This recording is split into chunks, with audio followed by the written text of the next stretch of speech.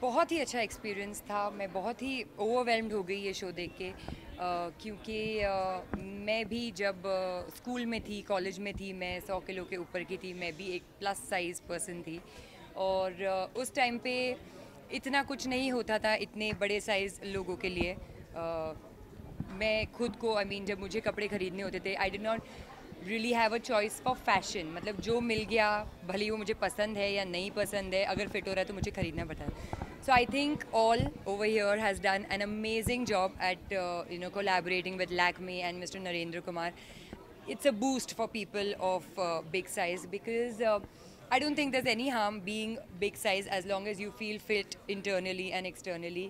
And uh, जो spirit था model का आज स्टेज पे वो काबिल तारीफ़ था बहुत सारे लोग थे जो एज ग्रुप से थोड़ा ज़्यादा भी थे but you know on the ramp they were amazing कोई कोई लोग ये भी थे कि वो प्लस साइज़ नहीं थे, बस अपने नॉर्मल वेट से थोड़ा सा ज़्यादा उनका वेट होगा।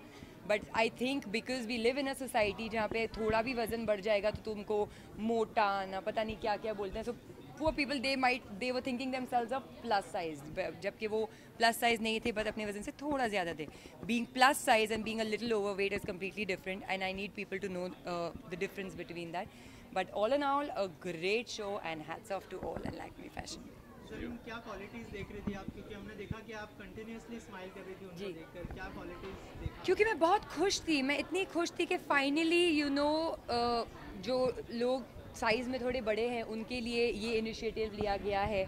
क्योंकि बहुत अभी रिसेंटली तक यू you नो know, जो थोड़े से थोड़े से भी वज़न जिनका ज़्यादा होता है उनको एक आउटकास्ट की तरह बिहेव करते करवाते हैं। स्टोर्स में लिमिटेड साइज़ के ही कपड़े मिलते हैं। तो ये इनिशिएटिव देख के and being a part of this you know initiative really made me so happy और जो कॉन्फिडेंस था आज रैम पे लोगों का वो देख के मुझे बहुत खुशी हो रही थी। So, रैम्प पे आपको वॉक करना ज़्यादा मुश्किल लगता है या जज करना ज़्यादा मुश्किल? Honestly I am a person मुझे जज करना अच्छा नहीं लगता। मुझे I am not somebody who likes judging anybody you know क्योंकि बट uh, आज यहाँ पे थी मैं and it's it was not actually judging आज हम साइज़ या उस उस पे नहीं जज कर रहे थे कॉन्फिडेंस लेवल्स पे जज कर रहे थे। किसी में अमेजिंग कॉन्फिडेंस था। कोई कोई थे जो आज भी कॉन्फिडेंस में थोड़े लो थे।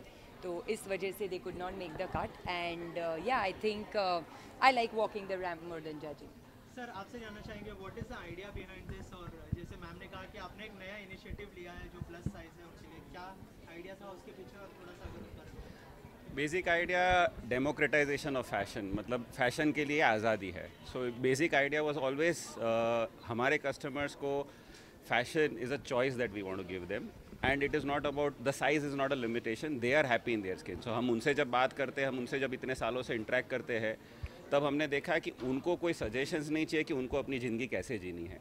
They are happy in their own skin and we want to, want them to, we want to help them celebrate their livelihoods i think that's largely the proposition.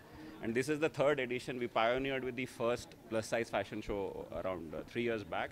This is the third edition, this time with Narendra Kumar and LFW continuously partnering with us. It's a great thing. You know, every time we're able to bring new things for our customers. And why Zareen for uh, today's judging?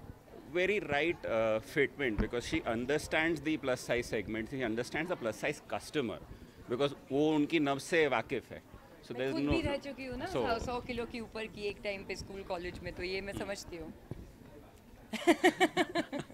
किसी को देख के memories ताज़ा हुई आपकी के बहुत सारों को देख के। एंड uh, बस ये सोच रही थी कि uh, ये इतना लेट क्यों हो रहा है हमारे कंट्री में? और यू you नो know, इतना टाइम क्यों लगा कि हमको इतना देर लगा ये टैलेंट जानने के लिए? वाई